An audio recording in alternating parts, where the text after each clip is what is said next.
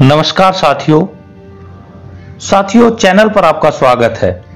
CBSE की तरफ़ से नया सर्कुलर जारी कर दिया गया है और बच्चों के मन में दुविधा पे दुविधा आ गई है कि जो पढ़ाई का एक स्पेन बीच में जो रुकावट हो गई थी, अब उसको उनको दोबारा से तैयार करना पड़ेगा। बहुत सारे बच्चों के मैसेजेस आ रहे हैं कि हमारा तो पेपर हो ही चुका है और सीबीएसई ने हमें पास कर दिया है तो फिर ये प्रोजेक्ट प्रैक्टिकल क्यों?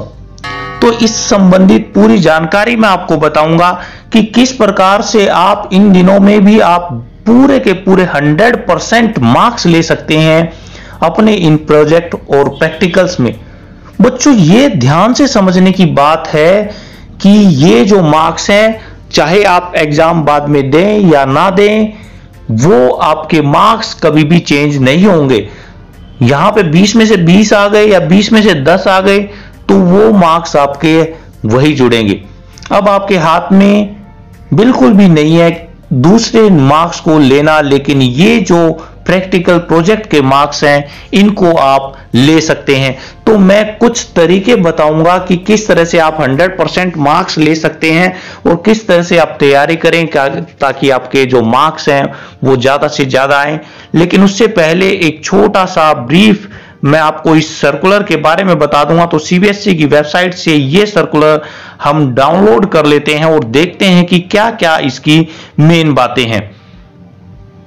तो ये छे छः इक्कीस का ये सर्कुलर है और यहाँ पर एक्सटेंशन दिया है प्रैक्टिकल प्रोजेक्ट और इंटरनल असेसमेंट के लिए, ताकि जो पेंडेमिक की वजह से जिन सब्जेक्ट्स के ये मार्क्स नहीं अपलोड हुए थे, वो मार्क्स यहाँ पर 28 छह 21 तक अपलोड किए जा सके।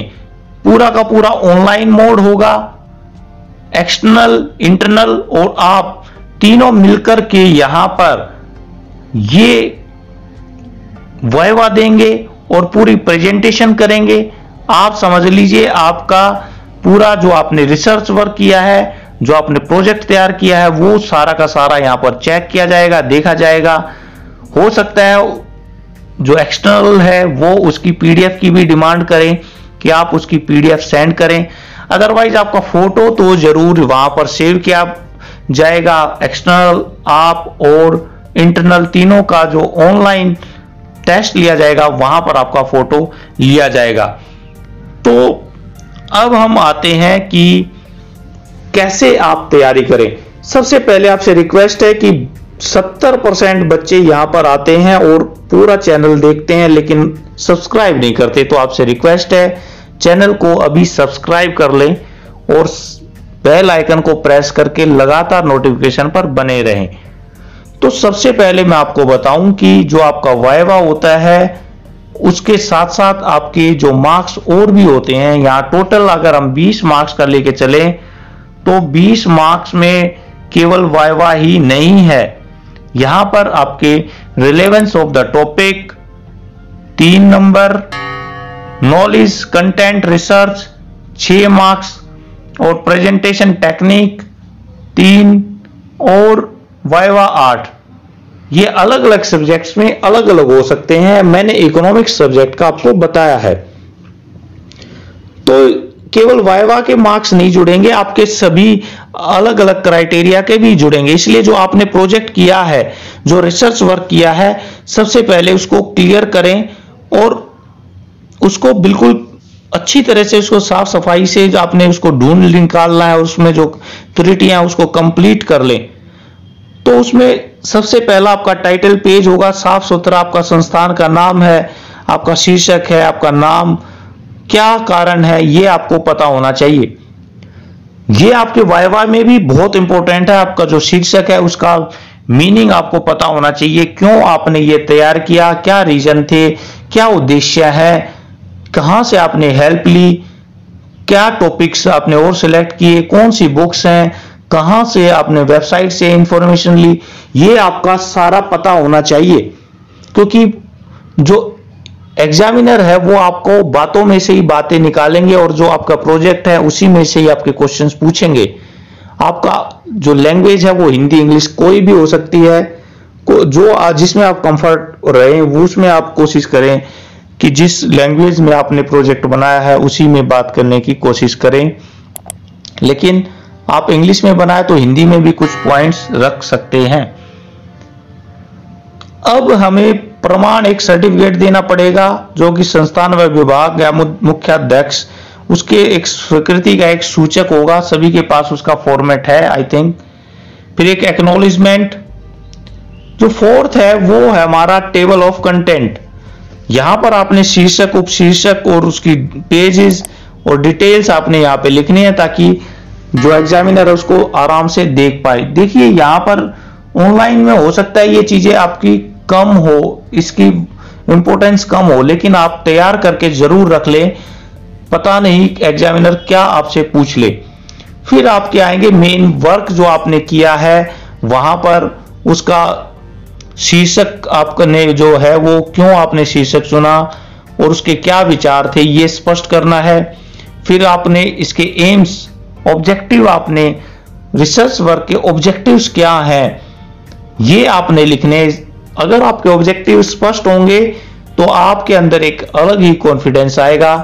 फिर आपने पूरा का पूरा परिचय देना है, विभिन्न परिभाषाएँ आपने नोट करनी है, और कहाँ कहाँ से आपने सूचनाएँ इकट्ठी की, प्रदर्शित की, आपने उसमें जल्दबाजी नहीं करना है, और उसको सीक्वेंस में आपने नोट करना है। सीक्वेंस में बनाए रखे क्या क्या घटनाएँ थी, पहले, बाद में, उसके बाद में, जैसे कृषि का विकास है, जैसे पहले क्या हुआ था? हरित क्रांति, उसके बाद में क्या क्या हुआ? उसके बाद में उससे पहले क्या था ब्रिटिश काल का? तो आपने एक क्रोनोलॉजिकल ऑर्डर में उसको रखना है और उसके बाद में ही आपने इसको करना है। तो ये सारा का सारा आपने करना है और लास्ट में आपने निष्कर्ष ज़रूर लिखना है कि आपने ये जो कार्य किया, वो परियोजना का क्या परिणाम, क्या आउटकम्स निकले और किस तरह से आपका ये डेली रूटीन में ये फ़ायदेमंद होगा। तो ये जो टॉपिक्स हैं, इसको आपने करंट जो हमारी पेंडेमिक है कोविड की, उससे भी रिलेट अगर करेंगे तो आपका पूरा का पूरा मार्क्स आपके आएँगे और आपके जो एग्जामिनर है वो संतुष्ट होगा। आपने जो टू द पॉइंट आपने आंसर लिखने, बोलने हैं। इसके बाद में लास्ट में आपने वहाँ, कहाँ कहाँ से आपने ये इकट्ठे किए हैं, वो भी आपने नोट कर लेना। संदर्भ जो होते हैं, वो आपने नोट करने हैं। तो ये आपका पूरा का पूरा हो जाएगा। इसमें आपका कंटेंट भी आ गया रिसर्च वर्क आ गया रिलेवेंस ऑफ़ टॉपिक हो गया प्रेजेंटेशन टेक्निक्स हो गया तो टोटल 12 मार्क्स का ये हो जाएगा। अब हमारा वाइवा है तो वाइवा की तैयारी क्या करें? आपको वाइवा की तैयारी करनी है। आप अपने मिरर के सामने खड़े होकर के क्वेश्चंस कर सकते हैं, अपने आप से, अपने भाई बहन से पूछ सकते हैं। एक जो टेक्निक थी, वो मेरे लिए बहुत, मुझे अच्छी लगी कि आप अपने जो साथी हैं, जिनको सेम कोशिश करें जिनको सेम प्रोजेक्ट मिला हुआ है। वो और आप मिलकर के ऑनलाइन आए और एक दूसरे से क्वेश्चंस पूछें। बेस्ट टेक्निक है ये। आपका कॉन्फिडेंस भी बूस्ट होगा, आपके क्वेश्चंस भी क्लियर होंगे और बहुत सारी चीज़ें आप सीखोगे। तो ऑब्जेक्टिव क्वेश्चंस की लिस्ट बना लें और उसके बाद में यहाँ पर आप तैयारी करें इस तरह से एक दूसरे की।